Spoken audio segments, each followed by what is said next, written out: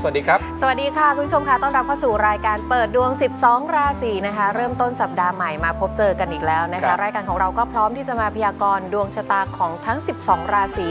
จันทร์ถึงศุกร์นะคะ8โมงครึ่งถึง 10 โมง ส่วนสำหรับของวันเสาร์อาทิตย์นั้น เราก็จะโพสต์ให้คุณผู้ชมนั้นได้ดูกันใน Facebook นะคะ วันนี้ก็อยู่กับแพรและอาจารย์พรโพเช่นเคยค่ะ ครับ วันนี้นอกจากทักทายสวัสดีแฟนรายการ วันนี้ผมต้องสวัสดีแพรแบบนี้ สบายดีหรือ อันนั้นคือประเทศลาวค่ะอ๋อไม่ใช่นะเป็นไงฮะกระแสกระแสของของค่ะละครละครฟอร์มยักษ์ของเรา ดีค่ะก็ boss ใหญ่ของเรานะคะ คุณตุ๊กตาก็ดีใจนะคะผู้กำกับครับก็ดีใจนักแสดงก็ดีใจนะคะ ที่ได้รับกระแสตอบรับเป็นอย่างดีมาก แต่ส่วนใหญ่จ้ะจะโดนด่าสนุกเลยค่ะ เพราะว่าคนสะใจกับที่พูดอยู่นี่นะคะคือเอ่อละครฟอร์มยักษ์เพลิงพระนางของใช่ทางค่ะกันตนาเรานี่เองครับก็จะ on air ศุกร์เสาร์อาทิตย์นะคะ ก็เสนอไปแล้วทั้งหมด 3 วันด้วยกันครับ3ตอนนะคะ หลังข่าวภาคค่ำทางช่อง 7 สีค่ะ ก็ได้ดูเหมือนกันนะวันนั้นนะดูหนูด้วยเห็นรอยหน้ารอยตาทั้งเรื่องเลยอะ อาจารย์แซวอะครับค่ะ ก็นั่นแหละค่ะตามนั้นค่ะ ตาม character นะคะครับ ก็เป็นคนอยู่หลาย ๆ ที่หลาย ๆ ฝ่าย ก็คือใครดีเอาตัวรอดเก่ง เราก็ไปอยู่กับเขา อยู่เป็นไงคะอยู่ยู่เป็นเออจ้ะจะได้อยู่นาน ๆ อย่างนี้นะคะ ก็ยังไงฝากคุณผู้ชมติดตามละครด้วยนะคะ วันศุกร์หน้านะคะเอาละค่ะสำหรับวันนี้ก็ตรงกับวันจันทร์ที่ 20 กุมภาพันธ์นะคะ มีอะไรอัปเดตไหมคะอาจารย์ ก็วันนี้ในแง่ของการอัปเดตคงไม่ได้มีอะไรพิเศษนะฮะทุกวันค่ะ สำคัญเหมือนกันหมด แต่ว่าช่วงนี้ยังอยู่ในอ่าเทศกาลเดือนแห่งความรักอยู่ ใช่เราแล้วเองค่ะ ก็ยังให้ความสำคัญนะครับในเรื่องของการตอบคำถามคำพยากรณ์ในเรื่องราวของความรักในแง่ค่ะ มุมต่างค่ะ ๆ โศกก็ได้ เศร้าทุกข์ใจมีความสุขสมหวัง ก็สามารถที่จะสอบถามคำถามเข้ามาได้ ซึ่งเราจะรวบรวมไปตอบในช่วงเบรกที่ 3 กติกาต้องทำยังไงบ้างลูก ก็ง่ายนิดเดียวสามารถพิมพ์ PD นะคะ แล้วก็ใส่คำว่ารักค่ะ ตามครับด้วยวันเดือนปีเกิด เวลาเกิดของคุณนะคะ และคำถามที่ต้องการจะถามนะคะ ส่งมาที่หมายเลข 4221606 นะคะ เรื่องราวจ้ะของความรักทั้งหมด เราจะรวบรวมไปตอบอยู่ในช่วงที่ 3 นะคะ ส่วนครับเรื่องอื่นๆเนี่ยก็ยังสามารถส่งมาได้เหมือนเดิมตามปกตินะคะจ้ะและสายสดค่ะลงทะเบียนที่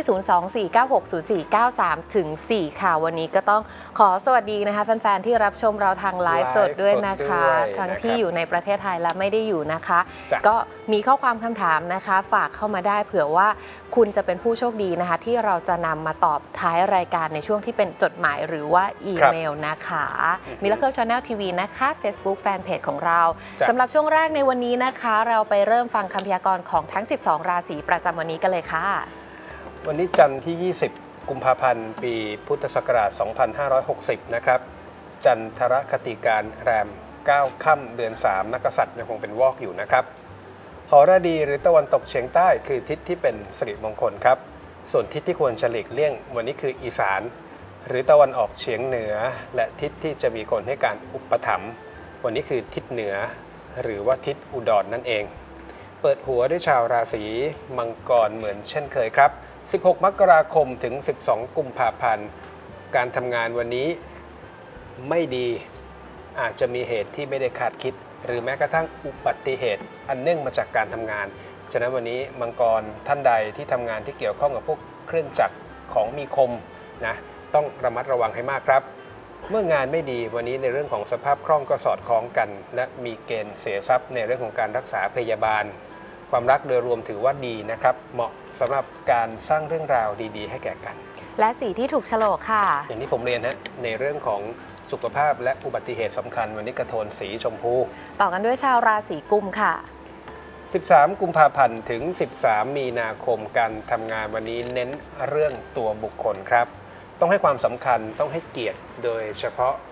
คนที่อยู่ในระดับที่ต่ำกันเรา ลูกน้องบริวารผู้ใต้บังคับบัญชาครับ เงินทองวันนี้คล่องทั้งสองขาเลยนะครับ รับซ้ายจ่ายขวาก็ได้ ฉะนั้นถ้าจะให้ดีควรจะควบคุมค่าใช้จ่าย สุดท้ายในเรื่องของความรักวันนี้ไม่ว่าโสดหรือมีคู่มีเกณฑ์ได้รับข่าวดีในเรื่องที่เกี่ยวข้องและสีที่ถูกโฉลกค่ะ วันนี้คงต้องเสริมอย่างที่เรียนฮะมีโอกาสกระทบกระทั่งกับลูกน้องบริวารกับโทนสีเหลือง ต่อไปชาวราศีมีนค่ะ 14 มีนาคมถึง 12 เมษายน การตัดสินใจหรือแก้ปัญหาใด ๆ ในวันนี้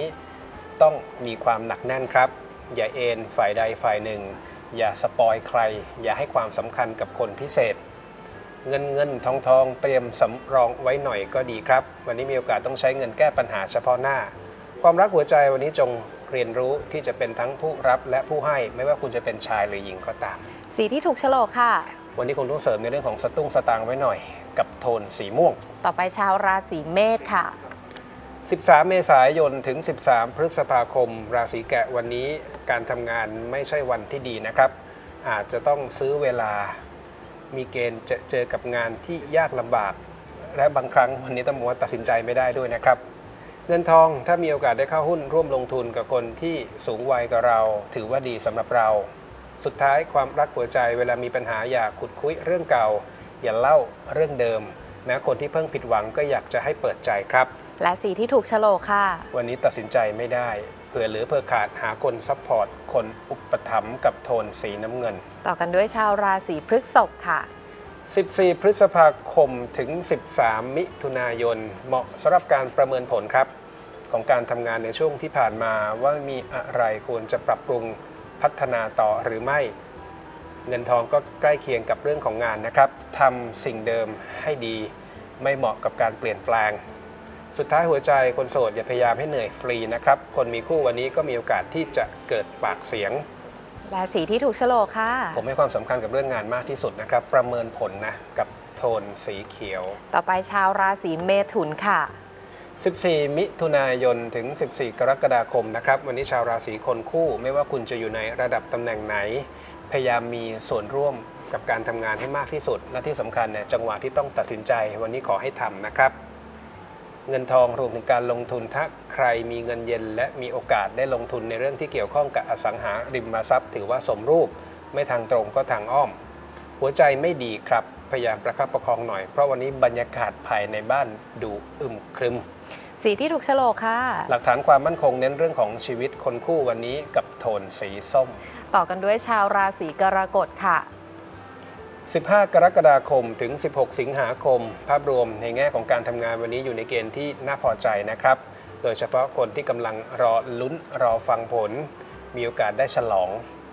แต่งเงินทองสวนกันกับเรื่องของงานครับ ไม่เหมาะกับการทำธุรกรรมร่วมกับบุคคลอื่น มีโอกาสจะเกิดปัญหาความขัดแย้ง ความรักหัวใจผมทายดี มีเกณฑ์ได้รับความสนใจทั้งจากเพศเดียวกัน และเพศตรงข้าม สีที่ถูกโฉลกค่ะ วันนี้เสริมเรื่องเงินอีกหนึ่งราศีนะครับกับโทนสีดต่อไปชาวราศีสิงค์ค่ะำ17 สิงหาคมถึง 16 กันยายนอะอุบัติเหตุเพศภัยนะครับ วันนี้สิงห์ต้องระวังหน่อย วันนี้การทำงานเหมาะสำหรับการสร้างภาพนะอะไรที่จะโน้มน้าวชักจูง หรือแม้กระทั่งการหาสมัครพรรคพวกเนี่ยวันนี้เป็นเรื่องที่จำเป็น พอจะมีลาภผลในเรื่องที่เกี่ยวข้องครับ ผมหมายถึงในเรื่องของการเงินการลงทุน โดยเฉพาะการเล่นแร่แปรธาตุสิ่งที่มีให้เกิดประโยชน์ แต่ความรักวันนี้ไม่ค่อยมีความพอดีสักเท่าไหร่ อยู่ไกลก็เหงาครับ อยู่ใกล้ก็ทะเลาะและสีที่ถูกโฉลกค่ะอย่างที่เรียนตั้งแต่ต้นเสริมในเรื่องของอุบัติเหตุกระโทนสีชมพู ต่อกันด้วยชาวราศีกันค่ะ 17 กันยายนถึง 16 ตุลาคมครับ การทำงานวันนี้ถึงผิดก็อย่าเพิ่งท้อครับ ให้ลองมองวิธีการที่เคยมองข้าม อาจจะใช้ประโยชน์ได้ไม่มากกว่าน้อย สภาพคล่องไม่ดีค่อนข้างมีจำกัด มีเกณฑ์ขายทรัพย์ ไม่เหมาะกับการเข้าหุ้น หัวใจเองก็ไม่เด่น คนรักค่อนข้างจะเรียกร้องเอาแต่ใจ โสดวันนี้ต้องพยายามเข้าหาคนรอบข้าง ก่อนที่จะเข้าหาคนพิเศษครับ สีที่ถูกโฉลกค่ะ หนักแน่นเสริมหลักฐานความมั่นคงด้วยกับโทนสีส้ม ต่อไปชาวราศีตุลค่ะ 17 ตุลาคมถึง 15 พฤศจิกายนครับ วันนี้ถ้ามีโอกาสได้ช่วยเหลือคนอื่นขอให้ทำนะครับ เพราะอย่างน้อยเนี่ยอาจจะเป็นการสร้าง connection ดีๆสำหรับอนาคต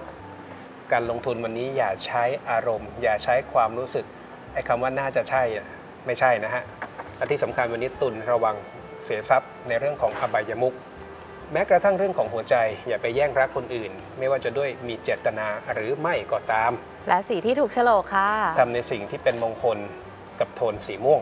ต่อกันด้วยชาวราศีพิจิกค่ะ 16 พฤศจิกายนถึง 15 ธันวาคม วันนี้คนทำธุรกิจเองไม่จำเป็นจะต้องปรับเปลี่ยนกลยุทธ์วิธีการ อย่าคิดซ้อน อย่าคิดเยอะ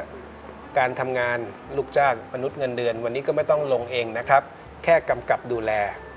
เมื่องานดีสภาพคล่องโดยรวมก็ถือว่าไม่มีปัญหา โดยเฉพาะคนที่ลงทุน หรือทำธุรกรรมอะไรไว้ก่อนหน้า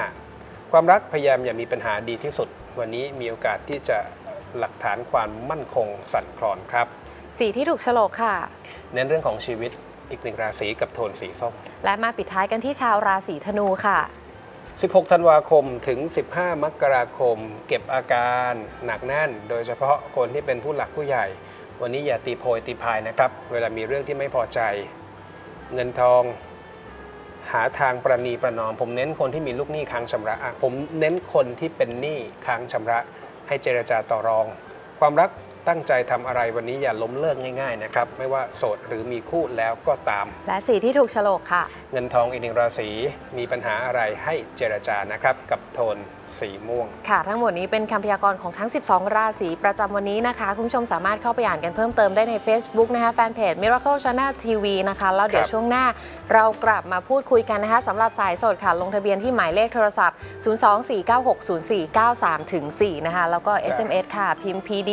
วันเดือนปีเกิดเวลาเกิดและข้อความนะใครต้องการทราบลัคนาราศีก็ให้ระบุจังหวัดที่คุณเกิดเข้ามาด้วยนะคะ ส่วนเรื่องราวของความรัก ก็วงเล็บใส่คำว่ารักเข้ามาด้วยเราจะนำไปตอบในช่วงที่ 3 นะคะ ส่งมาที่หมายเลข 4221606 ค่ะ เดี๋ยวพักสักครู่เดียวค่ะจ้ะ